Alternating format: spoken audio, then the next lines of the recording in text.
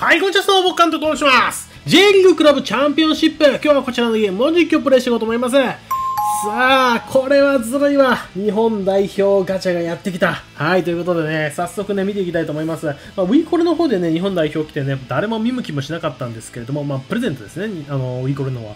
ただこの J クラの方はね、やっぱりここはそそるよなって感じですね。なんといってもやっぱね、あのカードの、全カードの中でもかなり強いということでね、えー、古橋選手とか、えー、伊東純也選手、まあ、ここ一番強いのかな。であと遠藤選手とか、三笘選手ですね。まあ、この辺とかも欲しいですね。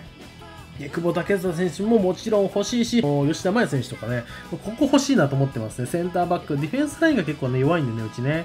はい。えー、ということで、えー、今日はこの日本代表選手を獲得するためにカウントアップ11連ガチャ、これに行きたいと思います。見ていきましょう。ただね、このガチャすごい辛口です。はい。もうあのー、バも持ってない人にとってはね、もうなんか引く意味なしみたいな感じのガチャなんですけれども、えー、ガチャを引くと毎回おまけで必ず日本代表選手カードが手に入るガチャ券が獲得可能ということで、まあ、ここでなんか一発逆転できたらいいなと思ってます。で、ちなみにね、詳細ですね。はい、えー、ちなみに僕はあの500、えー、番も500しか持ってない、584しか持ってないんで、2回しか引くことができません。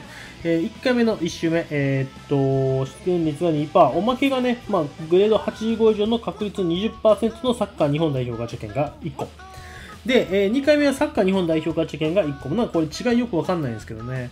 うん、まあ、1回目の方がいいんかなって感じするけれども、まあ、よくわかんないですけれども、とりあえず引いていきましょうか。はい、2回引いてね、おまけも2個手に入れましょうということで、えー、カウントアップ11連ガチャ、えー、まずは1発目いきたいと思います。さあ、果たしてどんな選手がね、手に入るのかね。えー、とりあえず旗はね、金旗待ってませんね。さあ、どうだろう。とりあえずあの、この、クリスタル引きたいな。グレード85以上は引きたい。お願いします。よしなんとかなった。ただこれちょっと日本代表ではなさそうですね。レギュラーっぽいな、これさすがに。さあ、とりあえず見ていきましょう。えー、全く日本代表の香りがしませんが、5連目、はい、キラが来た。そして、えー、小林祐介選手。全然この辺あんまりよくわかんないですけど、マルシーニョ。この辺も実はあまり知識がないというね。10連目。さあ、ここでグレードが74。そして11連目。ここが85。お、結構上がってるぞ。88。あー、西川修作選手ですね。いや、ここはさすがに知ってます。日本代表にも選ばれたことがありますからね。さあ、えーと、なんかガチャのおまけ手に入れましたね。これは嬉しいぞと。さあ、えー、2回目も参りましょう。果たしてどっちの景品の方がいいのかな？さあ、ただですね、この2回目はかなり微妙ですね、玉の色がね。うーん、まあ、とりあえず引いていこう。なんかもう全然ダメな気がする。あ、ただ、よかった。グレード85引けた。よし。ということで見ていきましょうさあ、どうだどうだ？全然知らないわ、マジで。J2 とかやったら全然わかんないですもんね、これね、僕。73ですね、ここで。そして、西尾選手。ここも実は知らない。言ってみたけど知らない。名前呼んでみたけど知らない。ここもわかんない、大月選手。そして、えー、誰だこれ、バラダ選手っていうのかな？そしてさ、11連目、ここが非常に、あ、85か、最悪や。うわ、またゴールキーパー、しかも。はい、えー、川田選手ですね。川田修周平か。はい。しかもチームもよく分かってないからな。えサッカー日本代表の、えガチャをもらいました。いや、微妙やな、これ。2枚目の方が多分微妙なのかな。ということで行きましょうか、とりあえず。サッカー日本代表ガチ券。まずはこちらから参りましょう。さあ、この光ってんの切りたいな。ただね、たま、回ってんのが少なすぎて、蹴れる気が全くしないぞということで。ここだダメだあ、来たジャパンジャパン来たぞ。これグレード85以上でしょ。さあ、いいぞ、いいぞ。さあ、どうだ？お願いします。グレード85がー、柴崎岳。いやー、久しぶりやな、柴崎来た。いやー、ガクか。まあまあまあまあまあ、でもこれ結構目玉と言える選手じゃないかな。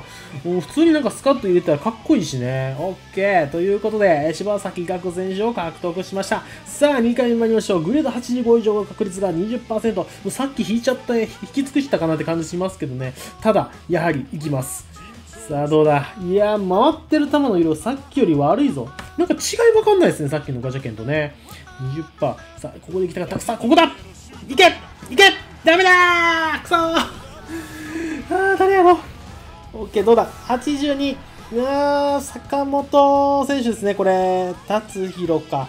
えー、っとね、セレッソですよね。元セレッソなんか、今もいるのかわかんないですけれども。もういないかな海外移籍してるかもしれない。海外移籍したかな確か。